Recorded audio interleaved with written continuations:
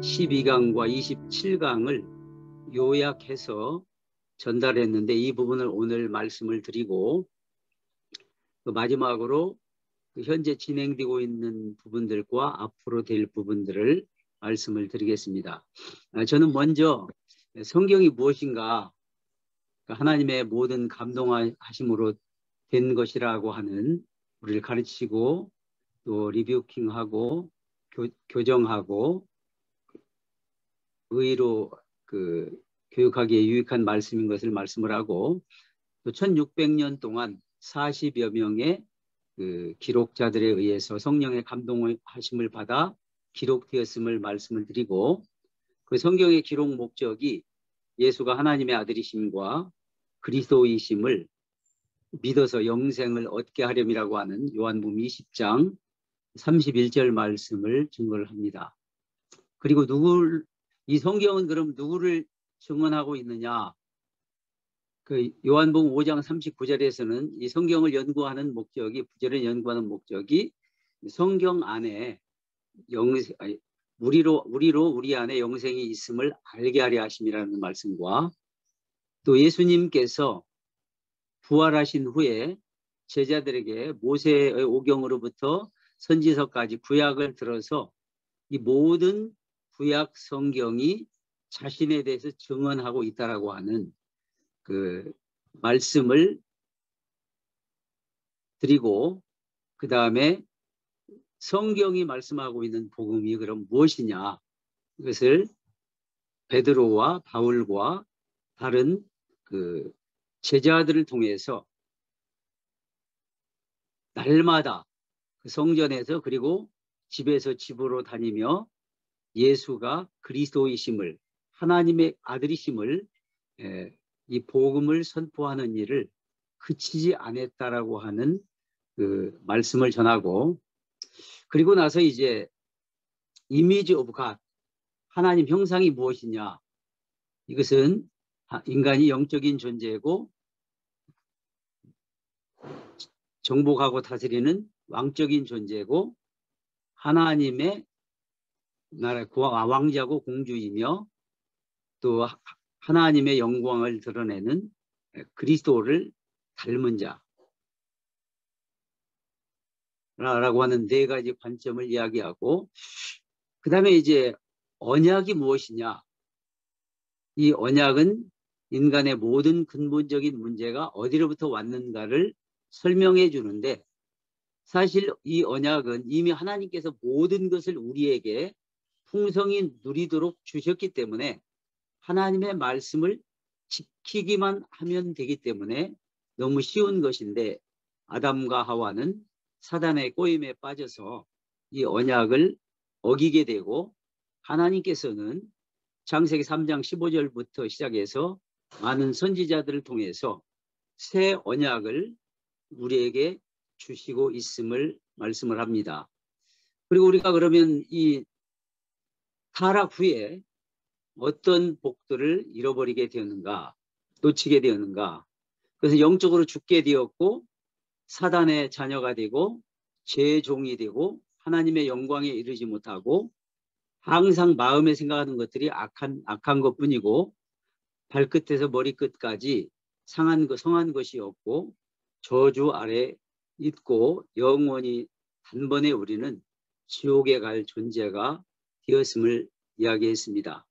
그리고 나서 우리 인간의 그 근본적인 문제는 사탄으로부터 그리고 죄로부터 그 결과 하나님께 단절되었음을 말씀드리고 나서 이것은 이것이 우리 인간의 근본 문제라고 하는 사실은 우리 인간 스스로의 노력이나 지식이나 경험을 가지고 알 수 있는 것이 아니라 오직 하나님의 은혜로만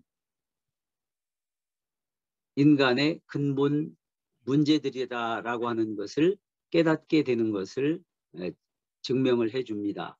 그리고 나서 사단은 그럼 누구냐? 사단은 본래 그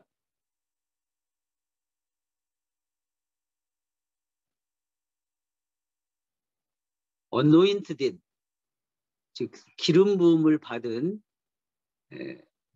천사장의 한 사람으로서 하나님을 대, 대항했기 때문에 하늘로부터 떨어진 존재가 되었고 그는 굉장히 강력하고 이 세상을 컨트롤하는 지배하는 신이 되었고 거짓말장이며 또 살인자라고 하는 것을 그리고 이 사단이 복음의 핵심을 공격해 가지고 우리 인간으로 하여금 복음의 광채를 보지 못하게 만든다고 하는 고린도후서 4장 4절 말씀을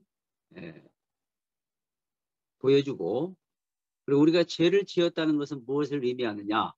그래서 언약을 깬 거고 하나님의 말씀을 경멸하고 그의 계명을 깨고 그리고 하나님의 말씀에 불순종하고 법이 없고 악한 것이며 정의가 없음을 그래서 그 결과 죄로 죄를 사망이 왔고 또 그 결과 죄는 우리를 하나님으로부터 단절시켰다라고 하는 것을 말씀을 합니다. 이제 그리고 나서 그러면은 구약에서 기름 부음을 받은 세 가지 직이 있는데 그 메시아의 언약, 즉 오실 메시아 그리고 신약에서는 이미 오신 메시아와 다시 오실 그 메시아에 대해서 말씀을 하고 있는데 진정한 메시아는 성경에 약속한 언약을 지키는 사람으로서 구약의 350여 가지의 메시아 예언을 신약에서 우리 예수님이 다 완전하게 성취했다. 그리고 이것이 기적이다. 라고 하는 것을 말씀을 하고 나서 누가 메시아냐? 즉 구약에서 주로 세그 직, 즉 처음 모세 오경에서는 제사장에 대해서. 그 11개의 역사서에서는 왕에 대해서 그리고 마지막 파트 17개, 17명의 선지자들은 선지자에 대해서 기록하고 있는데 진정한 왕은 사단의 권세로부터 우리를 구원해 주실 분으로 진정한 제사장은 우리를 죄의 문제로부터 영원히 완전하게 단번에 해결해 주실 분으로. 그리고 진정한 선지자는 우리를 하나님과의 단절 문제로부터 해결해서 하나님께로 가까이 나아가게 할 수 있는 분으로. 그래서 이 성경을 그 율법서와 역사서와 그리고 prophet 선지서로 나누고 신약은 gospel과 서신서 그리고 마지막 그 요한 계시록으로서 그 예수님의 생애와 다시 오실 재림에 대해서 말씀하고 있음을 드리고 그 다음에 이제 누가 그러면은 진정한 왕이고 진정한 제사장이고 진정한 선지자냐? 이스라엘 백성들이 하나님께서 왕으로 세웠지만 그들이 완전하지 못했기 때문에 메시아 예수 그리스도야말로 사단의 권세로부터 우리를 구원해 주실 진정한 메시아다. 그 하나님께서 하나님과 백성 사이에 중, 중보자로 제사장들을 세우셔서 백성의 죄를 대신해서 희생 제사를 드리게 했는데 그들 또한 완전하지 못해서 죄를 범했기 때문에 진정한 제사장은 우리의 죄의 문제를 완전히 단번에 영원히 해결해 주신 분이 예수 그리스도다. 그리고 구약의 수많은 선지자들을 세워서 하나님께 부름을 받아서 하나님의 주시는 말씀을 전하게 하셨는데 그들 또한 탐욕 가운데 죄, 죄인이었기 때문에 이스라엘 백성들로 하여금 진정한 선지자, 즉 우리를 하나님과의 단절 문제로부터 해결해서 그리스도께로 나아가게 하는 그 예수님을 기다리게 만들었지요. 그리고 우리 기독교의 핵심 진리인 십자가와 부활 이 부분이 중요한데 이것은 역사적 사실이면서 동시에 우리의 이 세 가지 문제를 완전하게 해결해 주신 예수님의 십자가 사건과 부활로 말미암아 그리스도의 사역을 완성하셨다. 우리의 구원 사역을 완성하셨기 때문에 주님께서 십자가 위에서 is finished 다 이루었다라고 말씀하셔 선포하셨기 때문에 그리스도 한 분이면 충분한 줄로 믿습니다. 그리고 예수님이 그리스도다라고 하는 것은 그가 우리를 진정한 왕으로 사탄으로부터 우리를 자유케 하셨고 그가 진정한 제사장으로 우리의 죄 문제를 영원히 단번에 해결해 주셨고 진정한 선지자로서 우리로 하나님께로 나아가 하나님과 함께 하도록 하고 그분이 내 안에 나와 함께 하시며 영원히 천국에까지 이르는 영원한 생명을 주셨기 때문에 모든 것이 그리스도 안에서 다 이루어졌고 이 예수가 그리스도이심을 믿고 그분의 영이 성령님이 우리 안에 거하시고 우리를 인도하시고 우리를 지켜주실 것을 믿습니다. 그런데 이 예수님을 영접한다라고 하는 것과 예, 영접 기도에 대해서 우리가 착각하고 있는 것은 영접 드리는 기도만 하면 자동적으로 예수 믿는 것이 아니라는 것이죠. 그래서 그리스 헬라어 람바노라고 하는 말은 주인이 바꾸어지는 것. 지금까지 내가 주인이고 내 마음대로 살아왔는데 예수님을 영접해 드린다라고 하는 것은 끝까지 그분이 나의 삶의 주인과 왕과 선한 목자 되셔서 나를 인도하신다라는 고백이다라고 하는 것이죠. 그래서 예수를 믿는다라고 하는 것은 그가 그리스도이시며 하나님의 아들이심이 믿어지는 것이 뭐냐면은 진정으로 예수님을 영접하는 것이 되는 것이죠. 그렇기 때문에 누구든지 주의 이름을 부르는 자는 구원을 얻고 영접하는 자, 곧 그 이름을 믿는 자들에게는 하나님의 자녀가 되는 권세를 주셨는데 이 하나님의 자녀로 거듭나는 것은 내 인생의 주인이 바꿔지는 것이고 당시에 로마 황제 제국에서 주라라고 시인한다라고 하는 것은 곧 황제 한 사람만이 주였기 때문에 누구든지 예수를 주라 시인하는 자는 당시에 사형을 당할 수밖에 없었기 때문에 그의 인생을 걸고 하는 말씀이고 그리고 그렇게 고백하기 위해서는 내 죄를 대속해 주신 것에 대한 감사와 죄에 대한 회개가 먼저 선행되어야 한다는 것이죠.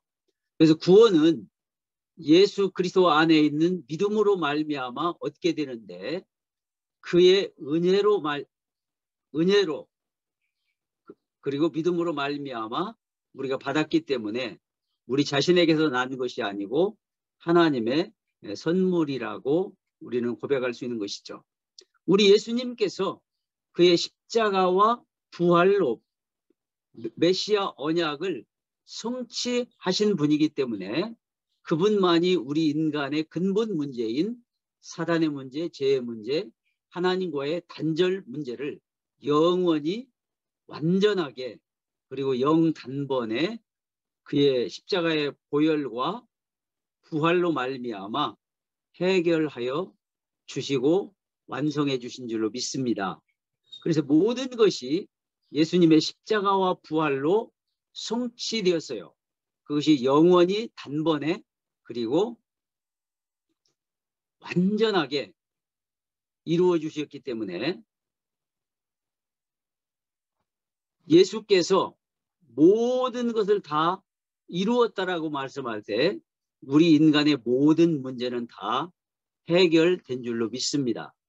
그렇기 때문에 오직 우리가 예수가 우리의 모든 문제를 십자가 위에서 부활을 통하여 다 이루었다고 믿을 때만 우리는 주님을 위해서 살아갈 수가 있는 것이죠. 그러면 우리 믿는 자들의 삶을 한마디로 한다면은 그것은 순종하는 삶이다라고 말씀드릴 수 있겠습니다. 네, 특별히 우리가 어떻게 하면은 주님에게 순종하는 삶을 살아갈 수가 있는가? 그것은 바로 믿음으로부터 순종하는 삶이 나오는 것인데 하나님께서 아담에게 언약을 주셨고 그 첫사람 아담과 그리고 모든 인간들에게 그의 언약의 말씀에 순종하기를 원하셨죠. 그러나 아담은 그 언약을 불순종했고 또 이스라엘 백성들도 역사 속에서 보면은 하나님의 언약의 말씀에 순종하지를 못했습니다.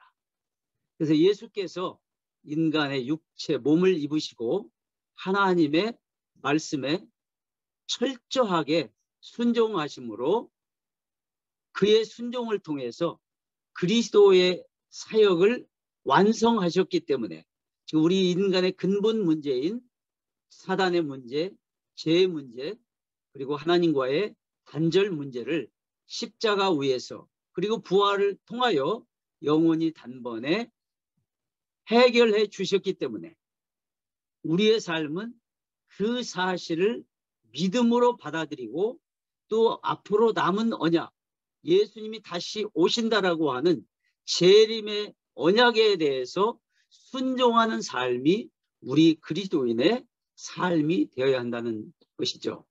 그리고 성령으로 살아간다. 그리고 예수 그리스도만 자랑한다고 할때 성령님은 누구시냐? 하나님의 영으로서 우리로 예수가 그리스도이심을 믿어지게 하고 우리 안에 새 마음, 새 영을 주시고 우리의 죄를 씻어 주시고 거룩하게 하시고 의롭게 하셔서 우리를 성령의 열매, 전도의 열매를 맺도록 인도하여 주신 줄로 믿습니다. 그렇기 때문에 성령으로 살아가는 삶은 우리 그리스도의 삶에서 대단히 중요합니다. 왜 많은 설교를 하고 전도를 하는데 열매가 없느냐?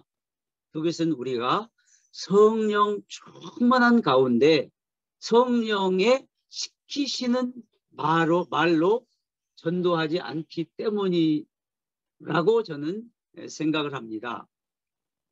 우리가 성령에 대해서 많은 역사들을 이야기할 수 있지만 특별히 예수가 그리스도이심을 증언하는 부분에 대해서 초점을 맞춰야 되는데 요한복음, 요한복음 14장 16장까지를 보면은 예수님께서 말씀하시기를 성령께서 오시면 예수님에 대해서 내가 너에게 가르친 모든 것을 생각나게 하시고 또 나를 증언하고 모든 진리 가운데로 너희를 인도할 것이라고 그랬고 사도행전 1장 8절에서는 진리의 성령이 오시면 내가 권능을 받고 예루살렘과 온 여다와 사마리아와 땅 끝까지 이르되 증인이 되라고 하셨는데 여기서 권능이라고 하는 것이 바로 우리에게 권능을 주신 목적이 무엇이냐?